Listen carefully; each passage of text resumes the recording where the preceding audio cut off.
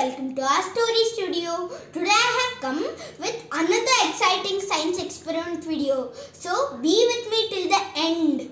For this experiment you need some water, a plate, some colorful gems.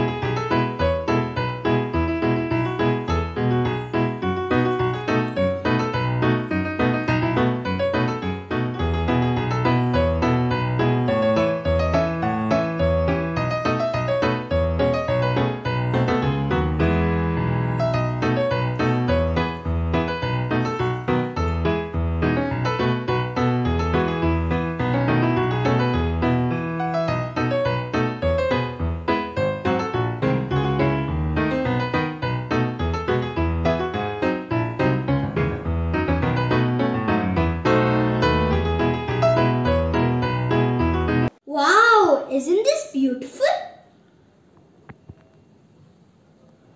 So friends, you can try this experiment at your home with hot water and cold water and enjoy the beautiful rainbow. Thank you for watching my video. If you like my video, please like, share and subscribe. It will motivate me to make new videos. Bye friends, see you in the next